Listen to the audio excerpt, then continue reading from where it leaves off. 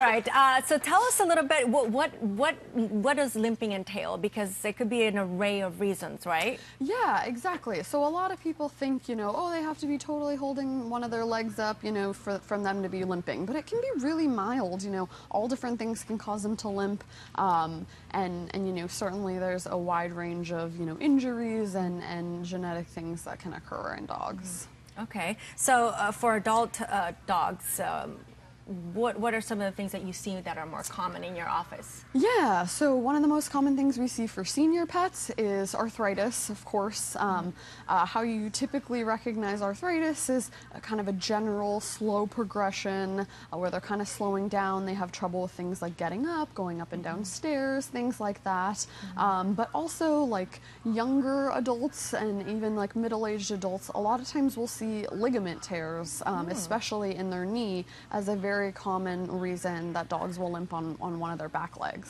Okay, so how, how can you tell the difference between arthritis and maybe they got injured, they actually pulled or strained a muscle.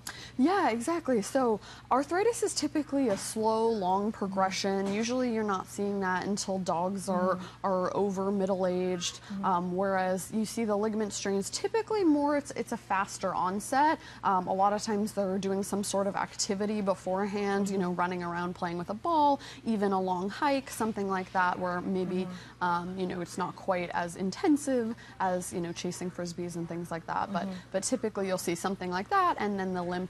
And it also doesn't go away. Uh, this is something that once they get a ligament strain, um, can so be tough to get rid away. of. Okay. Yeah, oh. yeah. So small dogs, dogs like under 30 pounds or so, mm -hmm. rest and a lot of times some pain medication from your vet um, can help improve them. But larger dogs, oftentimes they'll end up needing surgery because what happens is the oh joint is goodness. not stable anymore. Oh my goodness. Okay, so you got to take them in and get an x-ray and Mm -hmm. see if that's really a ligament tear or not. Yeah, yeah. So your vet will be able to tell if the joint is still stable. You know, worst case scenario, they've kind of completely torn that ligament that makes the knee really unstable. That's what causes them to limp. Um, it's it's painful for them to walk on it, and so surgery is oftentimes required to be able to restabilize that joint. Okay, so if surgery is not required, maybe do you give them like maybe some therapy or maybe some um, anti-inflammatory, um, med, you know, meds for the yeah. Yeah, yeah. So for minor injuries in bigger dogs or for little dogs, you know, that, that don't have as much weight on those back legs, mm -hmm. a lot of times, like you said, physical therapy,